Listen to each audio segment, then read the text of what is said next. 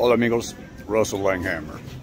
Uh, I've talked to you guys about supplements. I've talked to you guys about diet. Uh, I'm going to give you some tips about shopping, okay? Uh, everybody knows my wife's Mexican and we do a lot of our shopping in Hispanic places. So, wherever you shop, try to get the most, you know, good stuff. Uh, bananas, the fruits here. We get some really good stuff from the valley. Um, you know, use your head. The meat part is very important, okay?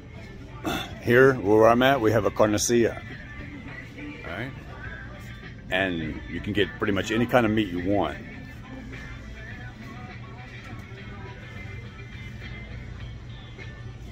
I always get pechuga de pollo marinada, all right?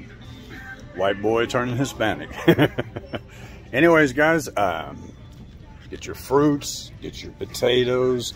Uh, here's something I like, especially for the cannabis people, mangoes. Uh, guys, like I said, another one here, papaya. Get good, good fruit. Then those supplements that you take, bring everything together. Uh, rice, I eat a lot of rice.